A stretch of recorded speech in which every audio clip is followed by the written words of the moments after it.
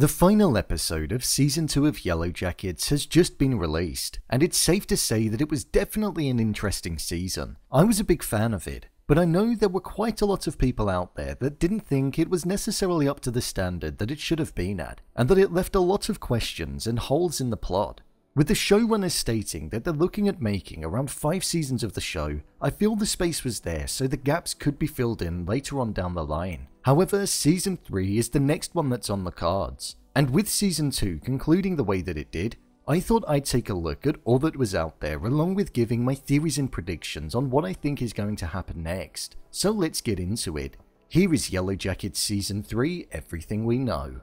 Just to let you know, this video will contain spoilers. The release date.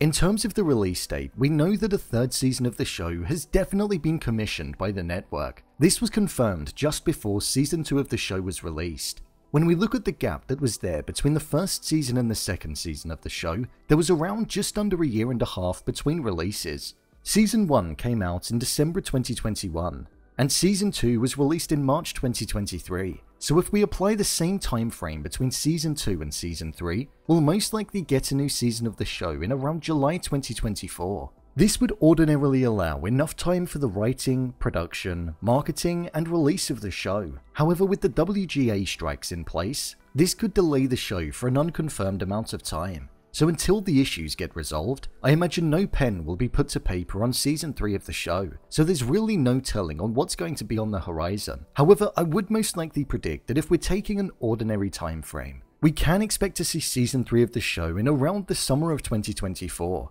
but it all depends on the writer's strike and what delays will come with that.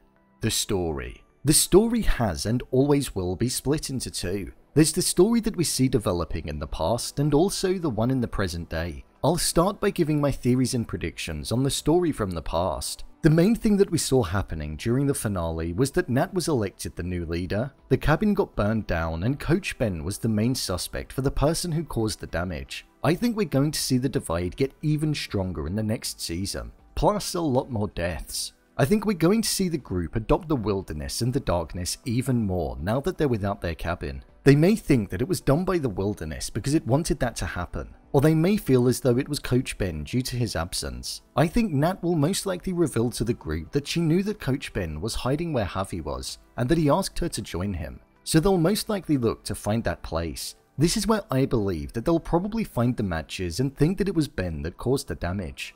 Obviously, we know that Tai has an alternative version of herself that likes to come out at night, so she could well be a suspect too, as she never remembers her actions. There's nothing ruling her out right now. It was positioned that Ben took the matches because he was struggling to make a fire in the cave that he was in, so it doesn't necessarily mean that he caused the damage. However, with the resentment and fear that he had, it most probably was him. I think we'll most likely see Ben seeing Tai visit where he's hiding during the time that he's there. There was a symbol on the tree outside of it, and with Javi saying that there was a friend that visited him, and with Tai being so deeply connected to that symbol, it could well have been her. So I think that's definitely on the cards. In the present day, we've heard the group say that they did a lot of dark things when they were in the wilderness. We have seen a lot of dark things happen, but I feel there's definitely more to come, and they've been alluding to that all throughout season 2 especially when it comes to the ritualistic activities that they carry out. I genuinely don't know how they're going to survive without the cabin, but it's going to be interesting to see how they do.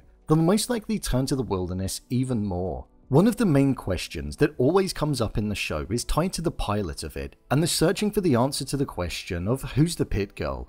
We've been led down a couple of different paths as to who the identity of the person could be. There was a time where everybody thought that it was Mari, but then during this season, there's been moments where it feels as though it could well be Callie or Lisa from the present day. With the group feeling the presence of the wilderness in the modern day, there's nothing to say that it couldn't take over their minds like it did all of those years ago, and be a character from this timeline. During the ritual when Nat was killed, we saw the group transform and adopt the cult-like behavior that they had when they were behind the masks. So there's nothing to say that their present selves won't go back to how they used to be, especially if they start to believe in the wilderness again. Within the present day story arc, I think we'll see the group struggling to deal with Nat's death, especially Misty as she was the one who caused her best friend to perish. We saw just how psychotic Walter was and that he was equally as psychopathic as Misty, so I feel we'll spend a bit of time watching them together and seeing how their dynamic unfolds. There was the arc where Tai's alternative personality was coming back in the present day, so I'm hoping that will continue to be explored whilst also showing why it was important in the present day story, as it kind of got put on the back burner towards the end of the season.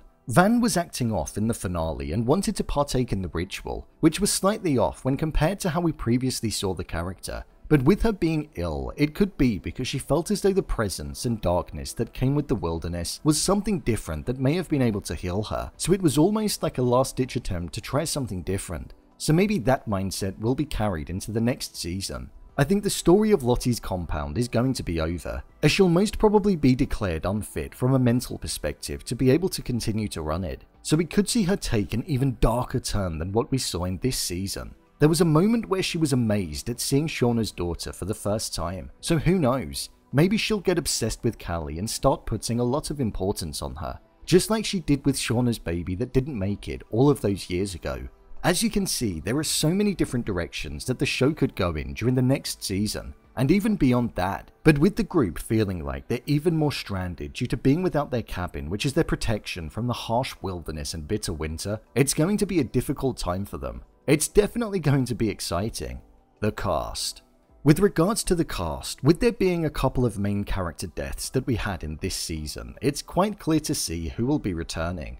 With the set of characters in the past, we know that Javi will not be returning, and in the present day, we know that Kevin the police detective and also Nat, the biggest death of them all, will not be returning. Plus, I imagine Jackie will also not be coming back too. With us not seeing flashbacks of her in the latter part of season 2, I can't see her coming back in the form of a hallucination. So that would mean that from the characters that are focused around the story in the past, we'll have Lottie, Shauna, Tai, Van, Misty, Nat, Travis, Mari, Akila, and Coach Ben. And then in the present day, we'll also have Lottie, Shauna, Van, Tai, Misty, Walter, Jeff, Callie, and maybe even Lisa. So most of the main cast will be returning, which is good to know, because they're what most definitely carries this show. Unfortunately, that's all that's known about Yellowjackets Season 3. I'm sure more information will be released as we draw closer to the release date. So, there you have it. Yellowjackets Season 3, Everything We Know. If you want to see more videos such as endings explained, theories and predictions, and character breakdowns, then click on the i button. Or alternatively, you can head over to my channel where you'll find them all. If you'd like to give me a show or movie that you'd like me to review, then head over to my Twitter, at BrainPilot underscore, and tweet me what show or movie you'd like me to review next. And finally, if you'd like to see what I rate the latest movies that don't quite make the cut to getting a dedicated video, then head over to my Letterboxd profile. It's where I rate the latest releases in real time. What do you think is going to happen in Season 3? Leave a comment down below, and don't forget to subscribe. I'll see you next time.